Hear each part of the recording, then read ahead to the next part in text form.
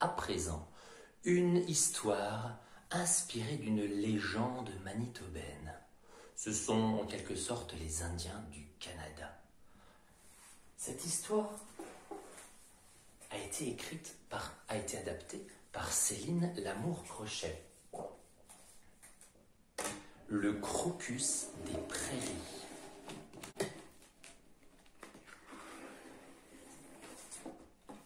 Ce matin-là, Wapi, le fils du chef de la tribu des Pieds Noirs, venait d'avoir dix ans. À cet âge, les Indiens subissent une quête initiatique. Son père le fit venir dans sa tente. Mon fils, il est maintenant temps pour toi de devenir un homme. Tu vas partir seul pendant cinq nuits dans la montagne. Tu devras te recueillir et le grand esprit devrait venir à ta rencontre.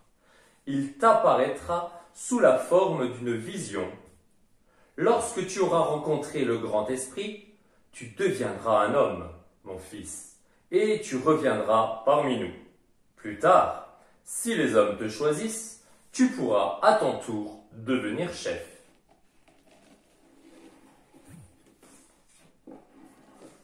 Wapi partit aussitôt en direction de la montagne, le cœur léger. Il ne connaissait pas la peur, car il avait toujours vécu à l'abri du danger, entouré des siens. Le soleil de printemps le réchauffait pendant son ascension. Wapi prenait le temps d'admirer la faune et la flore. À la tombée de la nuit, Wapi chercha un endroit tranquille pour se reposer. Il s'allongea sur un tapis d'herbe tendre. Le jeune Indien contempla alors le ciel et les étoiles, attendant patiemment l'apparition du grand esprit. Il veilla tard, mais ne vit rien, et s'endormit épuisé à l'aurore.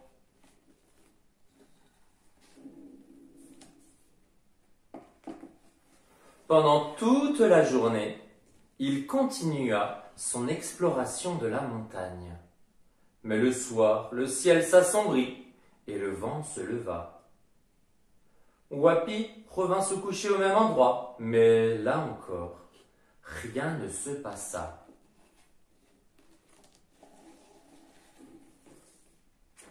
À l'aube de la troisième journée, Wapi s'inquiéta, et si le grand esprit ne venait pas, il ne, serait jamais un homme alors. Comment son père, le chef de la tribu, le recevrait-il? Serait-il chassé du clan? Wapi commença à avoir peur, très peur, et la solitude lui pesa. Le jeune Indien était désespéré à l'idée de ne pas rencontrer le grand esprit. La journée lui parut interminable.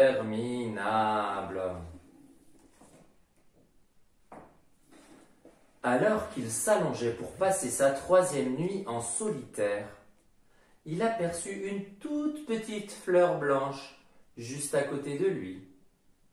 Elle paraissait si fragile. Elle ouvrait ses pétales au dernier rayon du soleil. Il se sentit un peu moins seul lorsque la nuit tomba.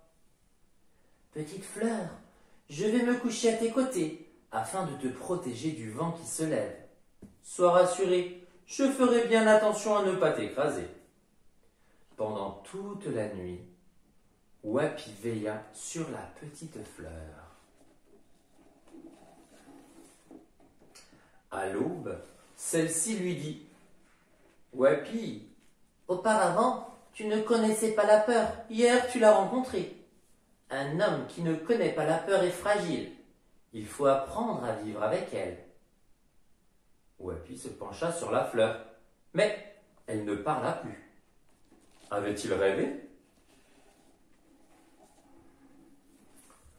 Durant toute la journée, le petit Indien réfléchit longuement à ses paroles. La quatrième nuit, alors que la pluie tombait, il protégea la petite fleur à l'aide de son manteau en peau. À son réveil, elle lui dit Tu as beaucoup de cœur, Wapi. Elle se tut toute la journée. Allongée à ses côtés, Wapi veilla sur elle durant la cinquième nuit jusqu'à l'apparition du premier rayon de soleil. C'est alors que la petite fleur annonça Wapi, tu es un homme sage au grand cœur. Ce sont les qualités d'un grand chef. Si plus tard tu rencontres des difficultés, reviens vers la montagne. Celle-ci t'apportera le calme et la paix dont tu auras besoin. Heureux, Wapi s'endormit profondément au lever du soleil. Il rêva paisiblement et eut plusieurs visions. Il était plus vieux et avait été choisi par les siens pour devenir le chef de sa tribu. Ils semblaient tous heureux et, paraissaient ne manquer de rien. Lorsqu'il se réveilla, le soleil était au zénith. Il était temps pour Wapi de rejoindre les siens, juste avant de redescendre dans la vallée. Il s'adressa à la petite fleur blanche. Merci, petite fleur. Grâce à toi, j'ai eu mes visions. Comment puis-je te remercier? J'aimerais que le grand esprit me revête de bleu et de violet. Ainsi, les hommes pourraient enfin me voir parmi les herbages. J'aimerais aussi un cœur chaud tel un petit soleil, qui me réchaufferait lors des journées pluvieuses, et un épais manteau pour me protéger lors des journées venteuses. Wapi implora le grand esprit. Celui-ci, touché par la bonté du jeune Indien, réalisa son vœu. La petite fleur devint bleue et violette, au cœur doré, et protégée par un épais manteau de feuilles. Cette petite fleur est le crocus des prairies, et elle est devenue l'emblème du Manitoba. Wapi, devenu un homme, retourna près des siens. Il fut accueilli avec joie et devint plus tard un grand chef aimé et apprécié des siens.